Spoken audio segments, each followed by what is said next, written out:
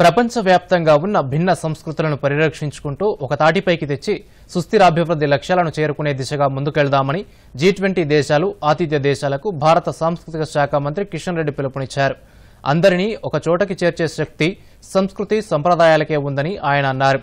Culture unites all అని కిషన్ రెడ్డి పేర్కొన్నారు.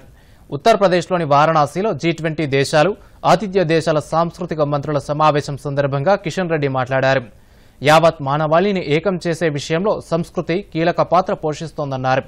విలువలు భాషలు కళలు మొదలైనవి దేశాలు ప్రజల మధ్య సత్సంబంధాలకు బాటలు వేస్తాయని పేర్కొన్నారు.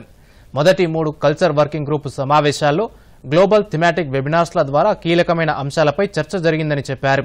రోషన్ బాలి డిక్లరేషన్లలో తీసుకున్న నిర్ణయాలు వాటిని ఎంతవరకు అమలు చేశామనే అంశాల ఆధారంగా కాశీ కల్చరల్ పాత్వేను రూపొందించామని కిషన్ రెడ్డి తెలిపారు.